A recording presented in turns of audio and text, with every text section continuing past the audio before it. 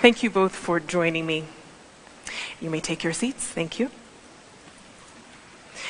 Your Excellency, let me begin with you. You cycled over 10 kilometers this morning from State House all the way to the UN complex. And many are wondering with the elements, because it was raining at that time, why did you do that? Thank you so much, uh, Victoria.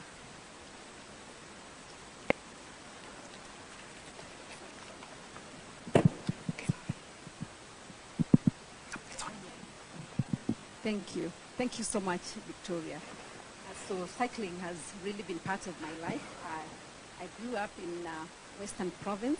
That was the former Western Province, now Kakamega County. So, sorry about that.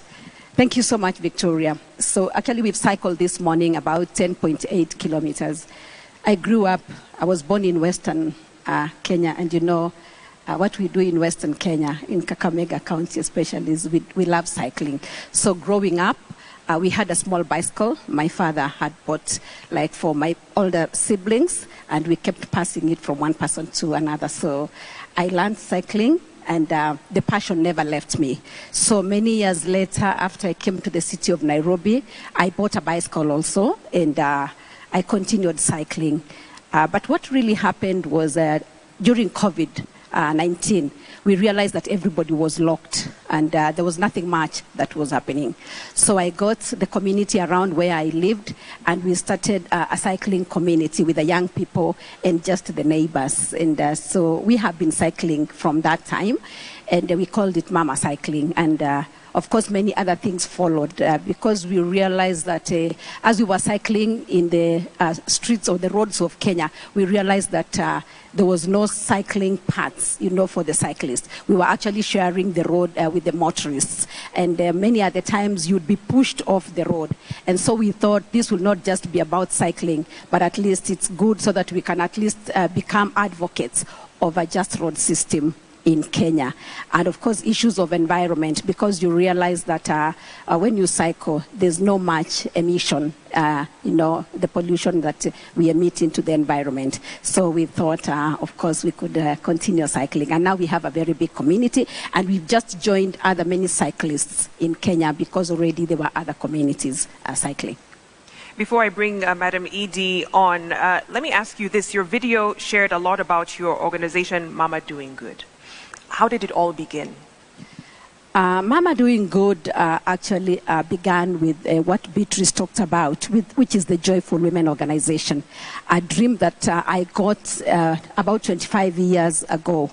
And I was in the rural areas and I saw a woman that did not have shoes, yet was very happy. And so I wondered what we could do to really help this woman.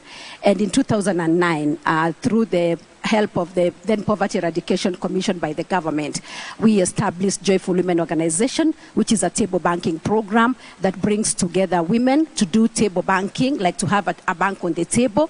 And so from the, joy, uh, from the Joyful Women, we have moved on into the Mama Cycling, and now we are doing environment, and all our programs are under the Mama Doing Good. We just want to do good, Victoria.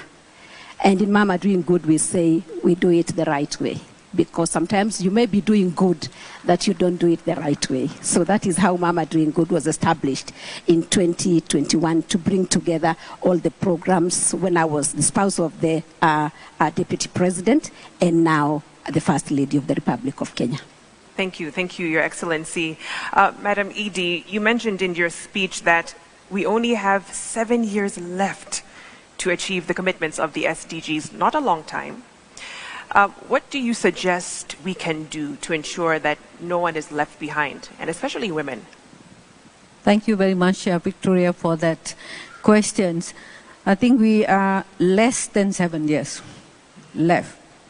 I remember I even calculated the number of days when I, in my closing speech during the World Urban Forum in Katowice uh, last year. I think what from the from the example that we have seen just now, from the video, and then from the uh, poet, and also from the, the life example that Beatrice